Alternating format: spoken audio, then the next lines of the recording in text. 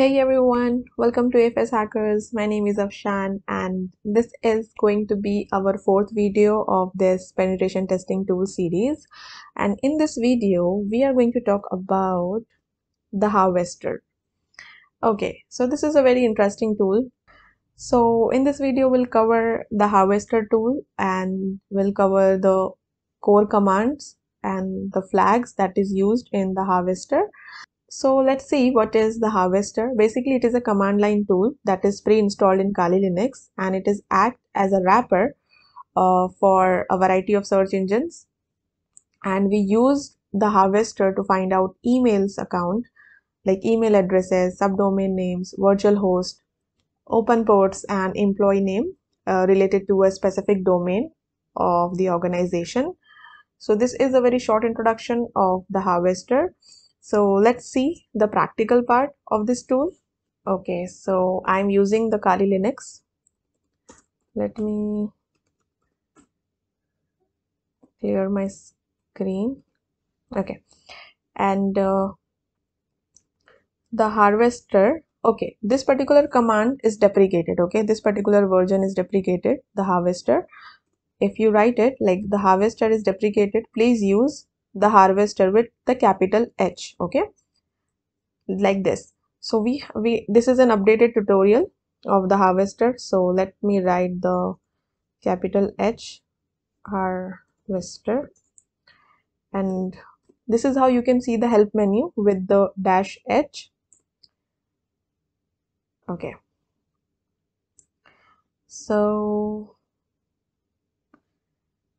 we have different flags or switches like H is for show this help message and exit okay? You can also use this dash dash help. The second one is uh, dash D. That is for domain name the company name or domain to search. It is a very important switch. Dash L okay? Like limit the number of search result. The default set is 500 and this Capital S switch is to start with result number X like default is 0.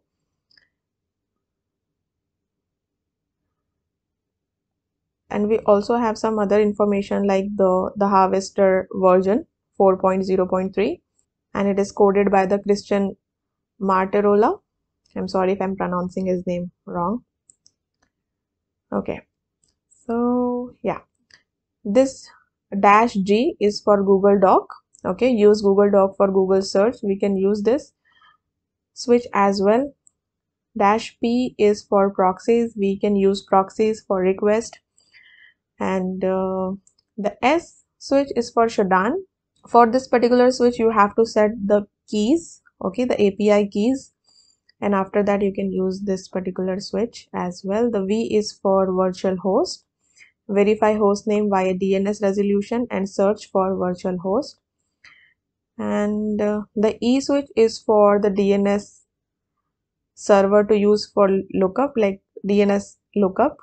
Dash T is to perform a DNS TLD expansion that is top level domain.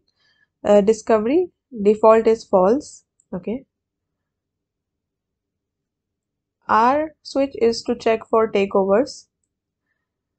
N switch is for DNS server lookup like you can enable the DNS server lookup okay this dash dash c switch is to perform a dns brute forcing on the domain.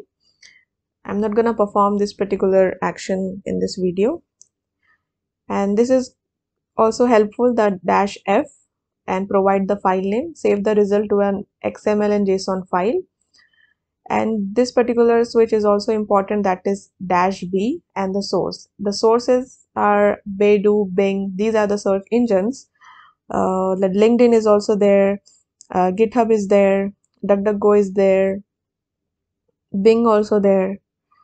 And google is there. Linkedin links. Yahoo. Twitter is also a search source. So let's start with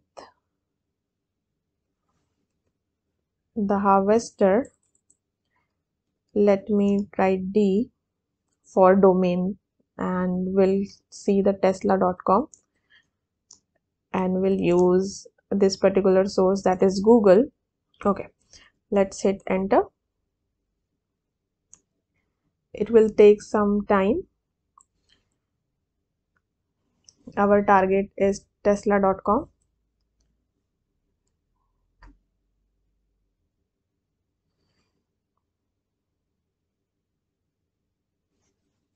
by default it will search 500 results.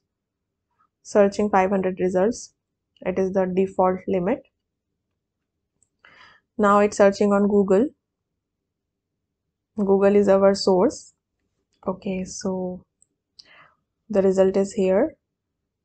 The harvester has found 10 email addresses. Okay. No ip address found. Okay. No issue but we have found the email addresses of tesla.com and these are the host okay? Like six hosts and 10 email addresses. Now let's change the domain. Okay the harvester. Now let's make it Microsoft. Microsoft.com and so Google is our source. And uh, we'll use the F option to save the result in a file. And I will write so I'll write the info file. Let's hit enter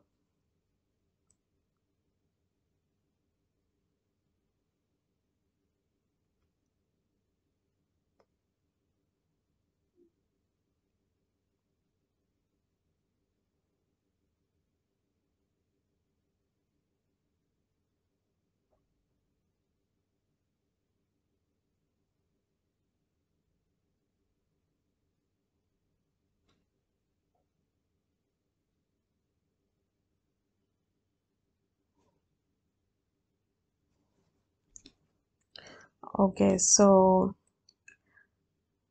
the Microsoft the 11 host we have found of Microsoft no emails found.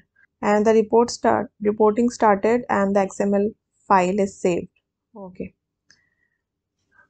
Let me check. Ls we have this info.xml file and info.json file.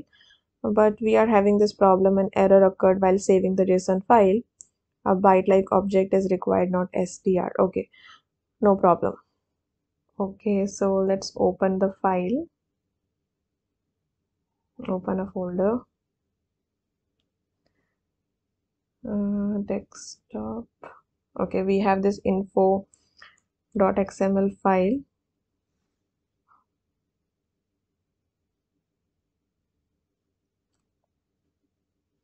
okay. So we have the ip addresses and the host name here.